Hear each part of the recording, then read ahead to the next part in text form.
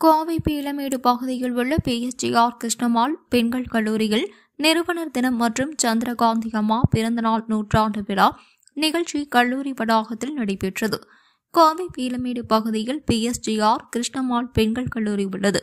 இங்கு ஜிஆர்ஜி நிறுவனர் தினம் மறைந்த சந்திரகாந்தி அம்மா பிறந்தநாள் நூற்றாண்டு விழா நடைபெற்றது. இதில் ராஜஸ்தான் மாநிலத்தில் உள்ள தருண் பாரத் சங்கத்தின் நிறுவனர் டாக்டர் ராஜேந்திர சிங் புதுடெல்லி அறிவியல் மற்றும் சுற்றுச்சூழல் மையத்தின் இயக்குனர் ஜெனரல் சுனிதா நரேன் மற்றும் மும்பை சரணாலயம் நேச்சர் ஃபவுண்டேஷன் நிறுவனர் ரந்தீர் சாகுல் ஆகியோர் சிறப்பு விருந்தினர்களாக கலந்து கொண்டனர்.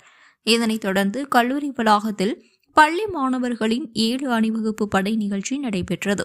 இதனைத் தொடர்ந்து சந்திரகாந்தி அம்மையாரை போற்றும் வகையில் பேராசிரியர்களால் உருவாக்கப்பட்ட பாடலுக்கு கல்லூரி மாணவிகள் நானூற்றி எட்டு பேர் குழு நடனம் ஆடினர் இதனைத் தொடர்ந்து பெண்களுக்கான சந்திரகாந்தி வாழ்நாள் சாதனையாளர்கள் விருதை பிஎஸ்ஜிஆர் கிருஷ்ணமால் பெண்கள் கல்லூரியின் தலைவர் டாக்டர் நந்தினி ரங்கசாமி சுனிதா நரேனுக்கு வழங்கினார். இதனைத் தொடர்ந்து ஜிஆர்ஜி நினைவு வாழ்நாள் விருது ரந்தீர் சாகலுக்கும் கிருஷ்ணமால் கல்லூரியின் புகழ் விருது கல்லூரியின் முதல்வர் மீனா முன்னாள் மாணவர்களான ஸ்வர்ணலதா ராமச்சந்திரன் கிரிஜா ஷோபா ஆகியோருக்கு வழங்கப்பட்டது. இதில் கல்லூரியின் பேராசிரியர்கள் மாணவியர்கள் என பலரும் கலந்து கொண்டனர் என்பது குறிப்பிடத்தக்கது.